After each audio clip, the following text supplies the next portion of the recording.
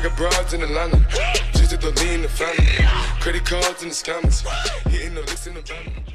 Mais uma aula aqui com vocês.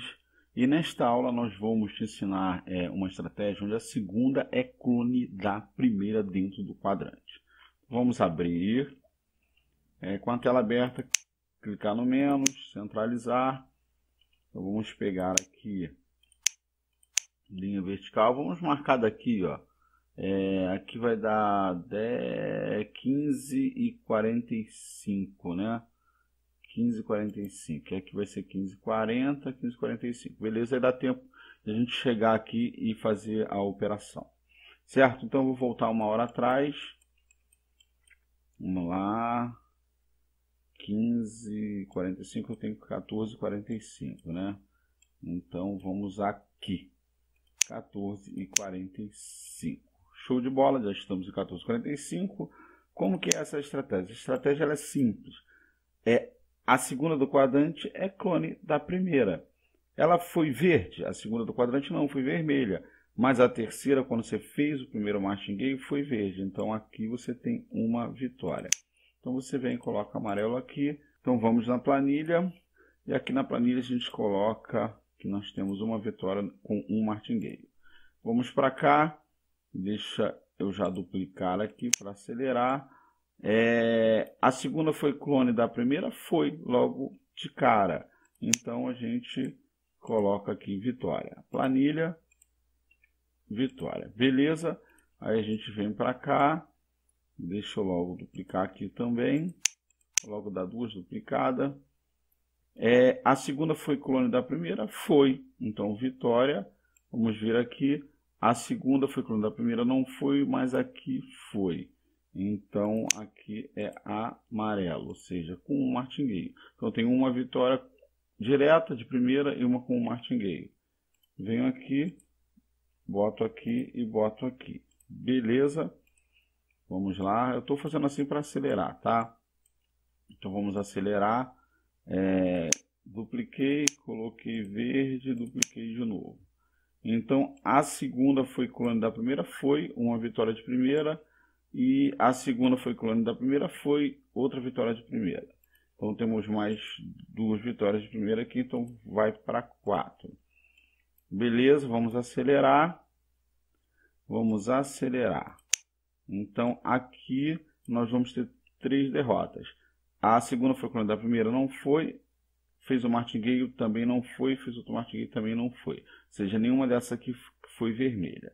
Então, vamos ter aqui é, três derrotas. Uma derrota, outra derrota. Beleza? Vamos aqui na planilha e coloca três derrotas. Show de bola. Vamos acelerar. Vamos logo duplicar aqui.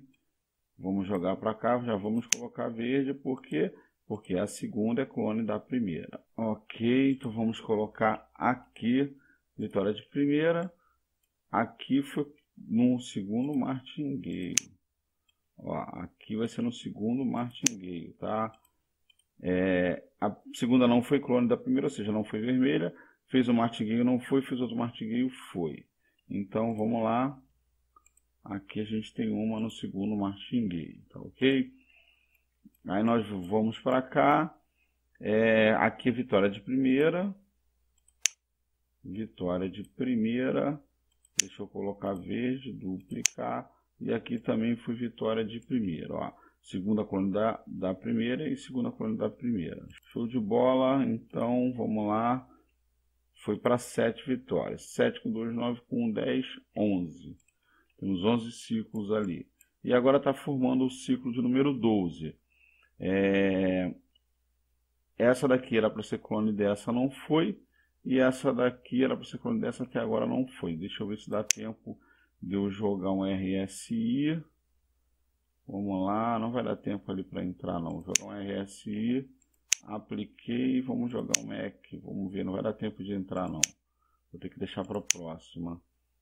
O Mac está dizendo que vai subir. Opa, entrei.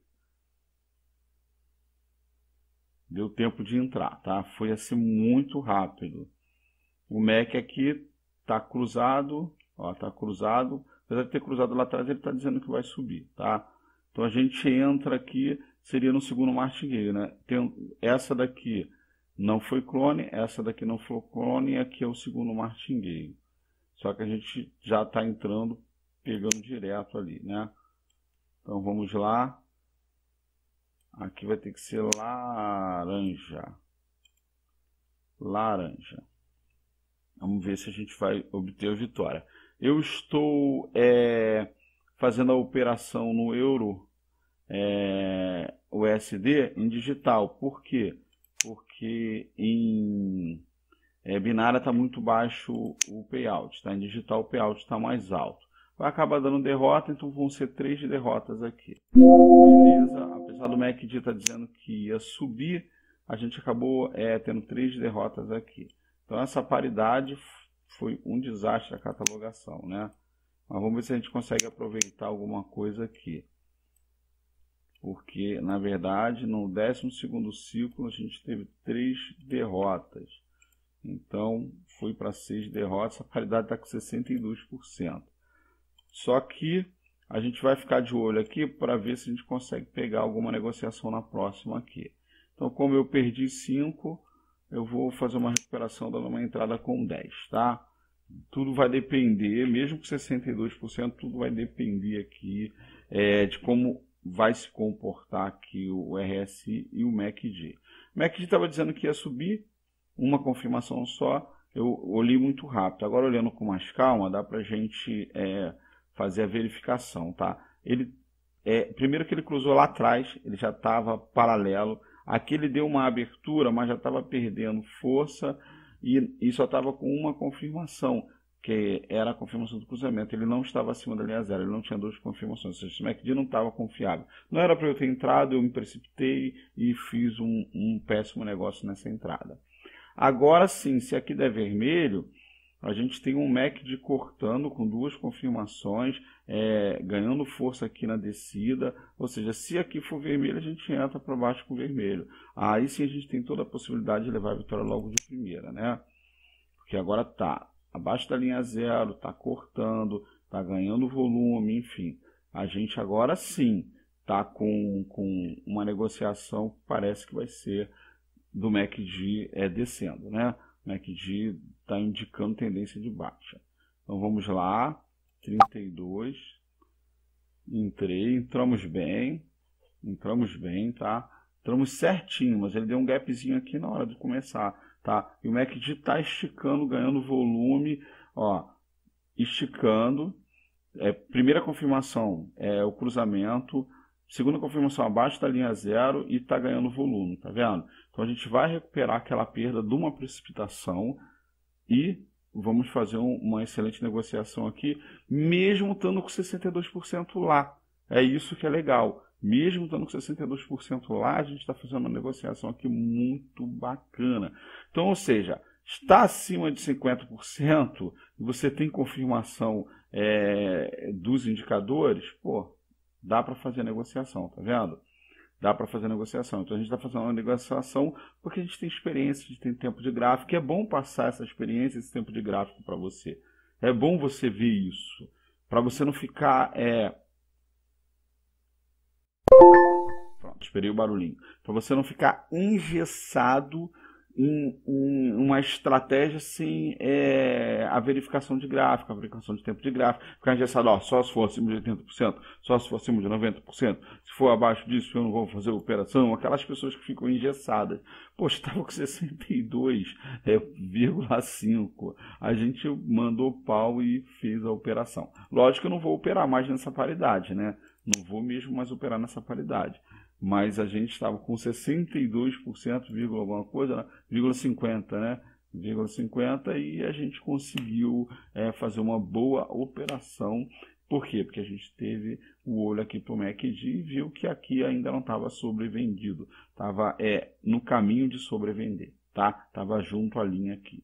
Então, a gente com a confirmação dos indicadores e com a estratégia de probabilidade, obtivemos mais uma vitória. Até a próxima aula. I got broads in Atlanta, just to lean the family. Credit cards and the scammers, hitting the licks in the van.